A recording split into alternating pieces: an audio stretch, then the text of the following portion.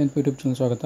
ಈ ವಿಡಿಯೋದಲ್ಲಿ ಹನ್ನೆರಡನೇ ತಾರೀಕಿಗೆ ನಡೆದಂಥ ಸಹಾಯಕ ಪ್ರಾಧ್ಯಾಪಕರ ಒಂದು ಪ್ರಶ್ನೆ ಪತ್ರಿಕೆಯಲ್ಲಿ ಗ್ರೇಸ್ ಮಾರ್ಕ್ಸ್ ಸಿಗುವಂಥ ಪ್ರಶ್ನೆಗಳು ಯಾವುವು ಅಂತ ಹೇಳ್ತಾ ಬರುತ್ತಂತೆ ಯಾಕಂದರೆ ಆ ಪ್ರಶ್ನೆಗಳಲ್ಲಿ ಕೆಲವೊಂದು ಸ್ಟಪ್ಪುಗಳಿದ್ದಾವೆ ಅವು ಯಾವುವು ಅಂತ ಹೇಳ್ತಾ ಬರುತ್ತಂತೆ ಇದೇನು ಕ್ವಶನ್ ಬಂದಿತ್ತಲ್ಲ? ವಿಟಮಿನ್ಸ್ ಬಗ್ಗೆ ಬಂದಂಥ ಕ್ವಶನ್ಸು ಇದಕ್ಕೆ ಗ್ರೇಸ್ ಮಾರ್ಕ್ಸ್ ಬರುವಂಥ ಚಾನ್ಸಸ್ ಇದೆ. ಯಾಕಂತಂದರೆ, ಇಲ್ಲಿ ಬಿ ಸಿಕ್ಸ್ ಅನ್ನುವಂಥದ್ದು ಏನಿದೆ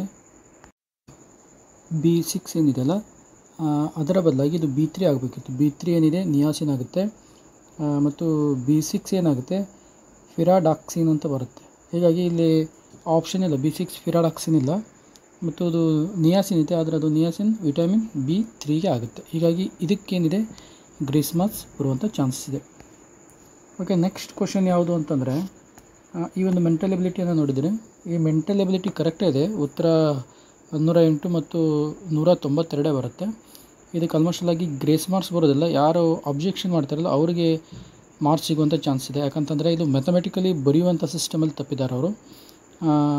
One not eight and one ninety two ಏನಿದೆಯಲ್ಲ ಅದನ್ನು ಆ್ಯಕ್ಚುಲಿ ಅವರು ಕೊಡಬೇಕಾದಂಥದ್ದು one ninety two and one not eight ಇದೆ. ಇದು ನೋಡಲಿಕ್ಕೆ ನಡೀತದೆ ಅನ್ನೋ ಅನ್ನೋ, ಅನ್ನಿಸ್ತದೆ. ಬಟ್ ಅದು ಆ್ಯಕ್ಚುಲಿ ಇದು ಮೆಥಮೆಟಿಕಲಿ ಬರೀಬೇಕಾದ್ರೆ ತಪ್ಪು. ಯಾಕಂತಂದರೆ ಒನ್ ನಾಟ್ ಏಯ್ಟ್ ಅನ್ನೋದು ಮೇಲ್ಗಡೆ ಬರಿತೀವಿ. ಹನ್ನೆರಡರ ಸೈಡಿಗೆ ಬರೀಬೇಕಾಗುತ್ತೆ. ಒನ್ ನೈಂಟಿ ಟು ಏನಿದೆ? ಕೆಳಗಡೆ ಬರಬೇಕಾಗುತ್ತೆ. ಹಂಗೆ ಬರೆದ್ರೆ ಅದು ಟೋಟಲಿ ಆನ್ಸರೇ ತಪ್ಪು ಬರುತ್ತೆ. ಓಕೆ ಹೀಗಾಗಿ ಒನ್ ನಾಟ್ ಏಯ್ಟನ್ನು ಫಸ್ಟಿಗೆ ಕೊಟ್ಟಿದ್ದಾರೆ ಅಂದರೆ ಮೇಲ್ಗಡೆ ಬರಬೇಕಾಗುತ್ತೆ. ಒನ್ ನೈಂಟಿ ಟೂ ಅನ್ನು ಕೆಳಗಡೆ ಬರಬೇಕಾಗುತ್ತೆ. ಹಂಗೆ ಬರೆದ್ರೆ ಈ ಪ್ರಾಬ್ಲಮ್ ತಪ್ಪಾಗುತ್ತೆ. ಹೀಗಾಗಿ ಇದನ್ನು ಸೂಕ್ಷ್ಮವಾಗಿ ಗಮನಿಸಿ ಯಾರಾದರೂ ಒಂದು ಮಾರ್ಕ್ಸ್ ಬೇಕಿತ್ತು ಅಂದರೆ ಇದನ್ನು ಅಬ್ಜೆಕ್ಷನ್ ಮಾಡಿಕೊಂಡು ಪಡಿಬಹುದು. ನೆಕ್ಸ್ಟು ಬರೋದಾಗಿತ್ತು ಅಂತಂದರೆ ಇದು ಕರ್ನಾಟಕ ಏಕೀಕರಣದ ಪಿತಾಮಹ ಬಗ್ಗೆ ಕ್ವಶನ್ ಕೇಳಿದ್ದಾರೆ. ಇದು ಆ್ಯಕ್ಚುಲಿ ಕರ್ನಾಟಕ ಏಕೀಕರಣ ಪಿತಾಮಹಕ್ಕೆ ಸಂಬಂಧಪಟ್ಟಂತೆ ಯಾವುದೇ ಹೆಸರು ಸ್ಪಷ್ಟವಾಗಿಲ್ಲ. ಓಕೆ? ಹರಡಿಕರ್, ಮಂಜಪ್ಪನಲ್ಲ, ಎಸ್ ನಿಜಲಿಂಗಪ್ಪನಲ್ಲ ಚನ್ನಬಸಪ್ಪ, ಇವರೆಲ್ಲ ಆ ಟೈಮಲ್ಲಿ ಇದ್ದಂಥವ್ರು ಅವರು ಆದರೆ ಆಲೂರು ವೆಂಕಟರಾಮನ್ ವೆಂಕಟರಾವ್ ಅಂತ ಬರ್ತಾರೆ. ಆ್ಯಕ್ಚುಲಿ ಅವರ ಹೆಸರು ಕೊಡಬೇಕಾಗಿತ್ತು. ಆದರೆ ಹೀಗಾಗಿ ಇದಕ್ಕೂ ಸಹಿತ ಗ್ರೇಸ್ ಮಾರ್ಕ್ಸ್ ಬರುವಂಥ ಚಾನ್ಸಸ್ ಇದೆ. ನೆಕ್ಸ್ಟ್ ಗ್ರೇಸ್ ಮಾರ್ಕ್ಸ್ ಬರುವಂಥದ್ದು ಅಂತಂದರೆ, ಈ ಒಂದು ಮೆಂಟಲ್ ಬಿಲ್ಡ್ ಪ್ರಶ್ನೆಗೆ ಇಲ್ಲಿ ಸರಿಯಾದಂಥ ಉತ್ತರ ಏನಾಗುತ್ತೆ ಅಂತಂದರೆ, ಹನ್ನೊಂದು ಆಗುತ್ತೆ. ಕ್ಯಾಲ್ಕುಲೇಷನ್ ಮಾಡಿದ ತಕ್ಷಣ ಅದರಲ್ಲಿ ಹನ್ನೊಂದು ಅನ್ನುವಂಥ ಉತ್ತರ ಎಲ್ಲೂ ಇಲ್ಲ. ಹನ್ನೆರಡು ಅಂತ ಇದೆ ನಿಯರೆಸ್ಟ್ ಉತ್ತರ. ಹೀಗಾಗಿ ಇದಕ್ಕೂ ಸಹಿತ ಒಂದು ಗ್ರೇಸ್ ಮಾರ್ಕ್ಸ್ ಬ, ಬರುವಂಥ ಚಾನ್ಸ್ ಇದೆ. ನೆಕ್ಸ್ಟ್ ನಾವು ನೋಡ್ತಾ ಬರೋದಾಗಿತ್ತು ಅಂತಂದರೆ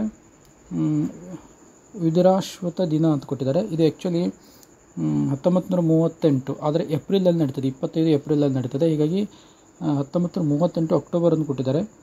ಇಲ್ಲೂ ಸಹಿತ ಒಂದು ಗ್ರೇಸ್ ಮಾರ್ಕ್ಸ್ ಬರುವಂಥ ಚಾನ್ಸ್ ಇದೆ. ಒಟ್ಟಾರೆಯಾಗಿ ಈ ರೀತಿಯಾಗಿ ಸುಮಾರು ಐದು ಗ್ರೇಸ್ ಮಾರ್ಕ್ಸ್ಗಳು ಈ ಒಂದು ಜಿ ಕೆ ಪತ್ರಿಕೆಯಲ್ಲಿ ಬರ್ತವೆ ಇದು ಒಂದು, ಎರಡು, ಮೂರು, ನಾಲ್ಕು ಮತ್ತು ಐದು.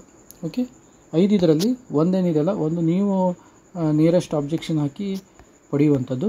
ಅದರದ್ದು ಮೆಥಮೆಟಿಕಲ್ ರೀಪ್ರೆಸೆಂಟೇಷನ್ ತಪ್ಪಿದೆ, ಅದರ ಉತ್ತರ ಸರಿಯೇ ಓಕೆ ಥ್ಯಾಂಕ್ ಯು